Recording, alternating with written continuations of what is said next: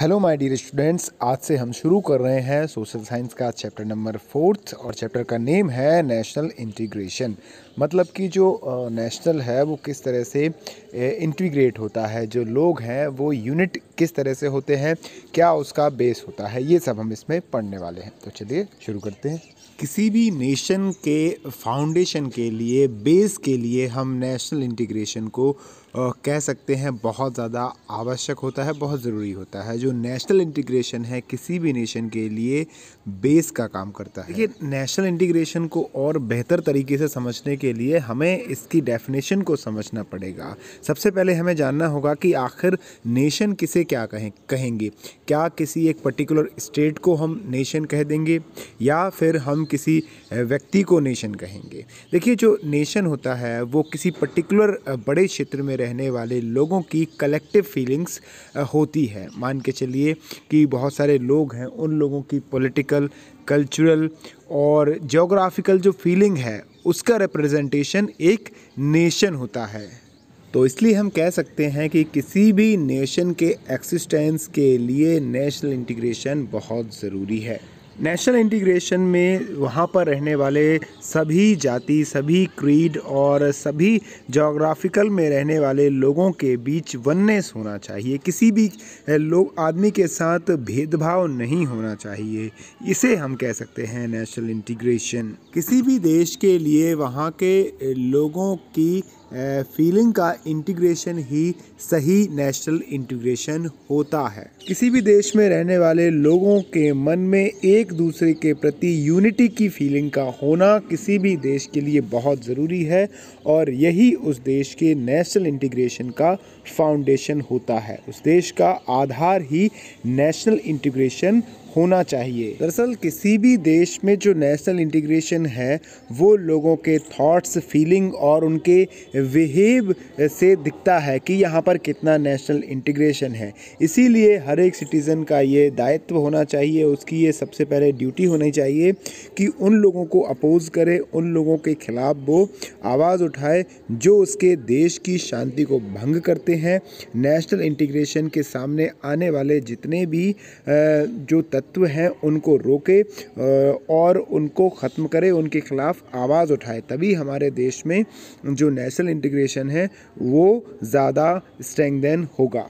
India के बिहाब से देखें तो जो हमारा एंशियंट इंडिया है, वहाँ पर हमें ऐसा देखने में नहीं मिलता कि इंडिया में नेशनल इंटीग्रेशन की कमी रही हो। जब हम देखते हैं हमारे एंशियंट इंडिया में तो बहुत सारे ऐसे कम्युनिटी के लोग हैं जो टाइम टू टाइम इंडिया में आते रहे और इंडिया के साथ उस इंडिया के कल्चर में वो मर्ज हुए।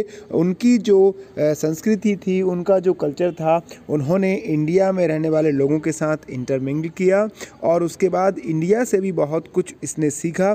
तो इस तरह से जो इंडिया का नेशनल इंटीग्रेशन है, वो बढ़ता चला गया और साथ ही जो हमारा हिस्टोरिक हिस्टोरिकल बैकग्राउंड है, वो और भी ज़्यादा स्ट्रॉन्ग होता गया। जब अलग अलग क्षेत्र के लोग इंडिया में आते हैं और इंडिया के साथ उनकी लैंग्वेज उनका रिलीजन उनकी कम्युनिटी को वो इंटरमिंगल करते हैं और उसके बाद जब वो इंडिया का पार्ट बन जाते हैं तो ये सारी चीज़ें हमारे इंडियन कल्चर को और भी ज़्यादा ज़्यादा स्ट्रॉन्ग करते हैं जिससे पता चलता है कि जो हमारा इंडियन कल्चर है वो इतना ज़्यादा रिच क्यों है? नेशनल इंटीग्रेशन को और भी ज़्यादा स्ट्रॉन्ग करने के लिए जो हमारे कल्चरल प्रोग्राम्स रहे, कुछ स्टेप्स हमारे ऐसे रहे, जिनसे जो हमारा नेशनल इंटीग्रेशन है और भी ज़्यादा बड़ा एग्ज़ाम्पल के तौर पे हम देख सकते हैं कि हमारे एंशियंट टाइम से जो हमारे बुज़ुर्ग हैं, हमारे Indians time to time pilgrimage करते हैं। बद्रीनाथ, जगन्नाथपुरी, रामेश्वरम, द्वारका,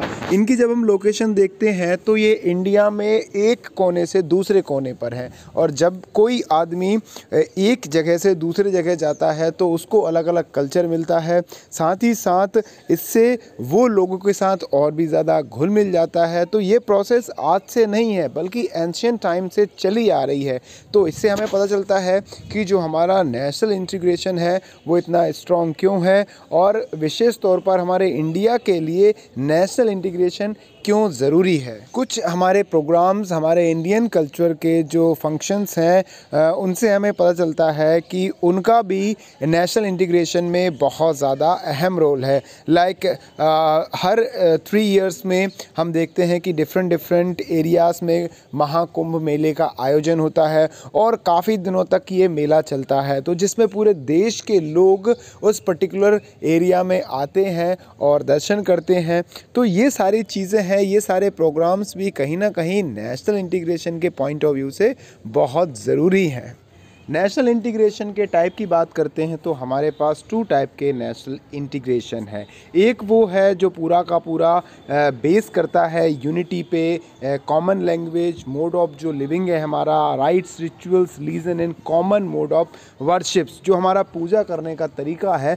यहाँ पर बात हो रही है किसी एक पर्टिकुलर धर्म की, किसी एक पर्टिकुलर रिलीजन की। और जो दूसरे टाइप का नेशनल इंटीग्रेशन है, वो है unity in diverse diversity the language mode of living rites and rituals religion जो कि दूसरे धर्म के साथ हम जब रहते हैं और उनके साथ हम यूनिटी में रहते हैं तो ये एक दूसरे प्रकार का नेशनल इंटीग्रेशन है। अलग अलग धर्मों के होने के बावजूद जब हम नेशनल लेवल पर नेशनल इश्यूज़ की बात करते हैं, देश की इंटीग्रिटी सोवर्निटी इमोशंस की बात करते हैं तो हम सभी की जो फीलिंग्स है, वो एक है। जब हम वन नेशन की बात करते हैं तो कहीं ना कहीं जो हमारा नेशनल इंटीग्रेशन है, उससे बढ़ता है और हमें पता चलता है कि इंडिया में नेशनल इंटीग्रेशन कितना ज़रूरी है और कितना स्ट्रॉन्ग है। इंडिया में अपने देश की इंटीग्रिटी के लिए यूनिट यूनिटी के लिए जो हमारे नेशनल लीडर्स हैं उन्होंने काफ़ी सारे एफ़र्ट्स लगाए बहुत ज़्यादा उन्होंने मेथड्स लगाए जिससे कि